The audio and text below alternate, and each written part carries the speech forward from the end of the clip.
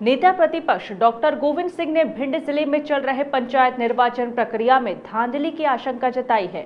उन्होंने राज्य निर्वाचन आयुक्त को पत्र लिखकर ज़िले में चल रहे मतगणना की जाँच करने की मांग की है। डॉक्टर गोविंद सिंह ने कहा कि प्राप्त मतों को प्रत्याशियों को नहीं बताया जा रहा है और कंप्यूटर में फीडिंग के समय उनमें गड़बड़ी की जा रही है।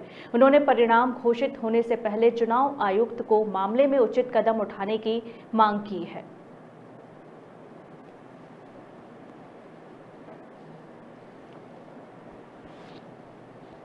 जिला निर्वाचन अधिकारी भिंड और अन्य जिलों में भी ऐसी प्रकार की घटनाएँ घटी हुई।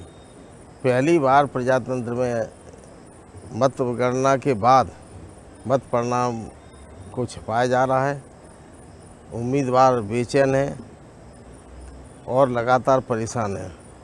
उनको न तो स्लिप दी गई कि कितना मत मिला है और न ही मतगणना परिणाम की घोषणा की गई है।